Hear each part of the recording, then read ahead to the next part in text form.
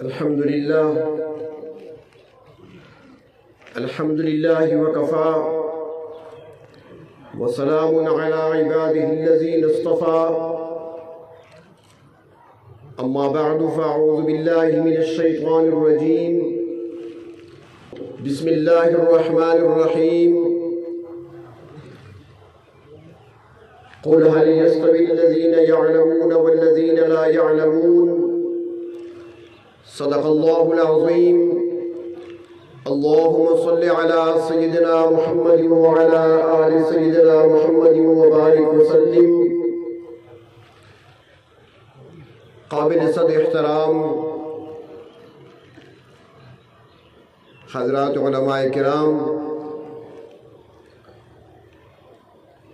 मेरे मोहतरम बुजुर्गों और अजीज़ दोस्तों न तो खिताब का वक्त है, न बयान का। अकाबरीन को, अपने बुज़ुर्गों को एक सबक सुनाना चाहता हूँ। और जो फजला हैं, जिनकी दस्तारबंदी होनी है, उनकी खिदमत में एक ही अर्ज़ करनी है। और वो ये कि आप सब हजरात की मौजूदगी में, इनके इस कराम की मौजूदगी में मैं इनसे एक सवाल करता हूँ। और वो ये है, क्या आपने जो अब तक आठ नौ साल इदारे में गुजारे, और जो कुछ आपने पढ़ा है, जो कुछ आपने सीखा है, जो कुछ आपने हासिल किया है तो क्या आप इस पर राज़ी हैं? फजला से पूछ रहा हूँ मैं। आप इस पे राज़ी हैं? इसी पर एक बात अर्ज़ करनी है। एक हस्ती की बात आप तक पहुंचानी है और उसी को सामने रखकर अपनी रजा का हमने ऐलान करना है। वो कौन सी हस्ती? मैं उस हस्ती की बात कर रहा हूँ उस हस्ती की बात आप तक पहुंचाना चाहता हूँ, जिसे इलम में वो मकाम मिला। इलम में वो मर्तबा जिनको अता किया गया कि इलम के जितने शोबे हैं, किसी भी शोबे के, किसी भी शोबे की नज़र से उनको देखा जाए तो हर शोबा इलम के अंदर वो आपको बाकमाल और यकता नज़र आएँगे। मिसाल के तौर पर, एक शख्स जिसको अपनी रियाजी दानी पर बड़ा नाज था कि मेरा मुकाबला रियाजी दानी में कोई नहीं कर सकता और मैं रियाजी का ऐसा सवाल पूछ सकता हूँ जिसका जवाब किसी के पास नहीं। तो जब अपना सवाल लेकर उस हस्ती के सामने आता है और आकर कहता है कि मेरा एक सवाल है, वो जवाब में फरमाते हैं, सवाल पूछो। मुझे मालूम नहीं कि तुम्हारे दिमाग में कौन सा सवाल है। पूछो सवाल, मगर एक शर्त है मेरी कि अगर सवाल का जवाब मैंने तुम्हें दे दिया दुरुस्त तो फिर कलमा पढ़ोगे। उसे इतना फखर, इतना घुमंड था अपने इलम पर, अपने कमाल पर, अपने फन पर, कि उसने वादा कर लिया कि अगर आपने जवाब दुरुस्त दे दिया तो मैं कलमा पढ़ लूँगा। तो फिर उन्होंने फरमाया कि सवाल करो। उसने कहा, जी, मैं रियाजी से मुतालिक सवाल करना चाहता हूँ कि ऐसा आदत बताएँ कि जिसे दो से लेकर नौ तक तकसीम किया जाए, बराबर तकसीम हो जाए, बाकी कुछ न बचे। कसर न बचे। मिसाल के तौर पर, दस है, इसे दो पे तकसीम करें, पाँच दो ने दस, बराबर तकसीम हो गया। लेकिन जब तीन पे तकसीम करेंगे, तीन तिया नौ, तीन चार बारह, बराबर तकसीम नहीं होता। या एक बाकी बचेगा। तीन तिया नौ करें, एक बाकी बचेगा। चार पे करें, चार दो ने आठ। तकसीम नहीं होता। पाँच पे करें तो हो जाता है पाँच दो ने दस। तो फरमाया, वो कहने लगा कि ऐसा आदत बताएँ जो दो से लेकर दस तक तकसीम किया जाए, बराबर तकसीम हो जाए, बाकी कुछ न बचे। मुस्करा कर कहने लगे, बस यही सवाल था।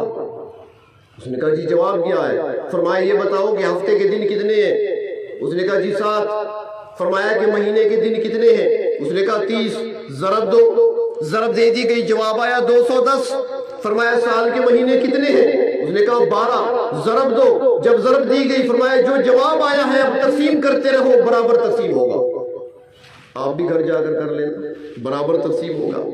मैं उस हस्ती की बात आपको सुनाना चाहता हूँ, जिनके इलम का मकाम यह है कि जब वो अदालत की कुर्सी पर बैठते हैं, एक शख्स आता है और आकर कहता है कि हज़रत, मेरा मसला हल करें। एक शख्स मेरा दोस्त था और जब वो दुनिया से रुखसत होने लगा, उसके बच्चे छोटे थे तो उसने मुझे कहा कि मेरे पास ये हज़ार दिरहम है, ये हज़ार दिरहम अपने पास रख लो। जब मेरे बच्चे जवान हो जाए, बाले हो जाए तो जितने आप चाहें, जितने आप चाहें, उनको दे देना, बाकी आप खुद रख लेना। अब वो आया और आकर अर्ज़ करने लगा कि, हज़रत, हज़ार दिरहम मेरे पास है, मेरा दोस्त फौत हो चुका है, अब उसके बच्चे हैं, मैं उनको देना चाहता हूँ। लेकिन दोस्त ने कहा था, जितना आप चाहे, उनको दे दे, बाकी खुद रख लेना। तो हज़ार में से मैं चाहता हूँ कि सौ उनको दे दू, सौ दिरहम। और नौ सौ दिरहम मैं खुद रख लू। सौ दिरहम बच्चों को दे दू। नौ सौ में खुद कर रख लू। हज़रत ने चंद में सोचा, फिर फरमाया, जरा दोबारा बात दोहराओ। उसने क्या कहा था? उसने कहा, जी, उसने कहा था कि जो आप चाहें, वो उनको दे देना। जो बाकी बचे, तुम रख लेना। जवाब में कहने लगे, बात तो ठीक है। उसने, वो सियाना आदमी था, होशियार आदमी था, तुम्हारा दोस्त। उसने बात ही बड़ी अजीब कही। उसने कहा, जो आप चाहे, आप क्या चाहते हैं अपने लिए? उसने कहा, मैं अपने लिए चाहता हूँ कि 900 दिरम खुद रख लूँ। फरमाया, ये मतलब था कि जो आप चाहे अपने लिए, वो उनको दे देना। जो बाकी बच्चे खुद रख लेना 900 दिरम बच्चों को दे दो 100 दिरम तुम रख लो।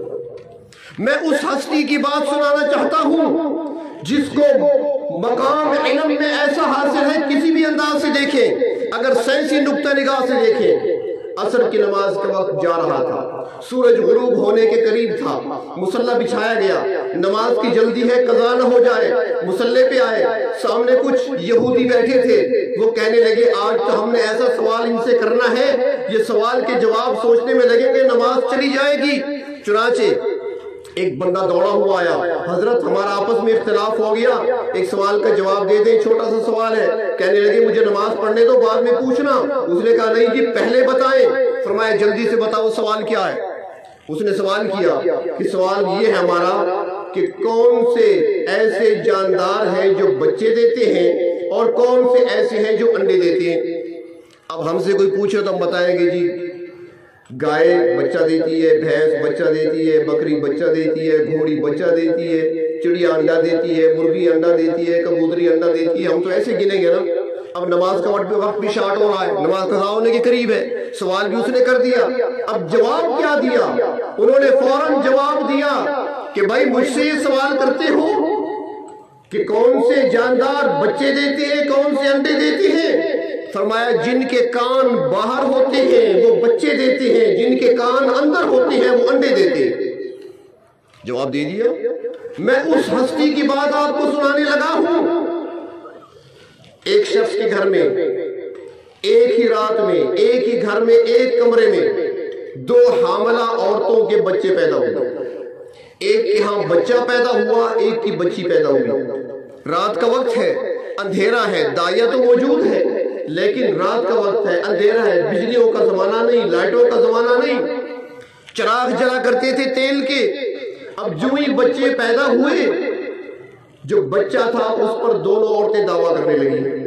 एक ने कहा कि ये बच्ची मेरी नहीं है इसकी है बच्चा मेरा है बेटा मेरा है। दूसरी ने कहा नहीं भाई बेटा मेरा है बेटी इसकी है। अब बेटी को कबूल कोई नहीं कर रहा और बेटे के लिए दोनों आपस में झगड़ने लगी। जब इख्तलाफ बढ़ा तो फैसला कराते हैं। उनके पास आए और आकर कहने लगे, हज़रत, हमारा इख्तलाफ हो गया। रात का वक्त था। बच्चा भी पैदा हुआ, बच्ची भी पैदा हुई। दो औरतें हैं, एक ही घर में रहती है, एक ही कमरे में।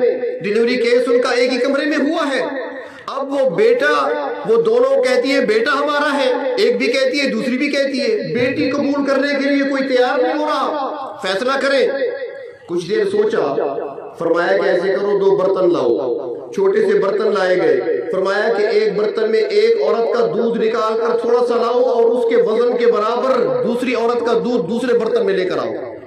दोनों को लाया गया। देखा वज़न बराबर था। यानी एक ही मिकदार में था। वज़न कराया गया। एक का दूध भारी निकला। एक का हल्का निकला। जिसका दूध भारी था। फरमाया इसका बेटा है। जिसका दूध हल्का था वज़न में फरमाया इसकी बेटी है। मैं उस हस्ती का ज़िक्र करना चाहता हूँ और उस हस्ती की बात करना चाहता हूँ जिसे दुनिया शेर खुदा कहती है। मैं उस बस्ती की बात आपको सुनाना चाहती हूँ, जिसके बारे में अल्लाह के महबूब फरमाते हैं, अना बाबुहा। मैं इलम का शहर हूँ, अली उसका दरवाज़ा है। मैं उस हस्ती की बात सुनाना चाहता हूँ, जिनके बारे में अल्लाह के नबी ने फरमाया, अना दारुल हिकमत व अली हस्ती की बात सुनाना चाहता हूँ कि अगर वो सो जाए, जगाने अल्लाह के नबी आते हैं, वो रूठ जाए, मनाने अल्लाह के नबी आते हैं, जिनके जिसम पे मट्टी लग जाए तो मट्टी को झाड़ने के लिए अल्लाह के नबी आते हैं। बुखारी वालों, याद है ना, हदीस पड़ी होगी आपने?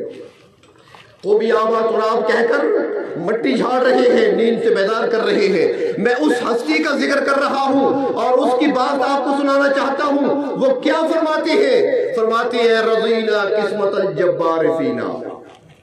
फरमाते हैं, यरजीना, रजीना किस्मत जब्बार फीना, लना फरमाते हैं कि अपने परवरदिगार की तकसीम पे राज़ी है। हमें उसने इल्म अता किया है जाहिलों को उसने माल दिया है। आप भी राज़ी है कि नहीं? पहले मैंने सवाल आपसे किया था।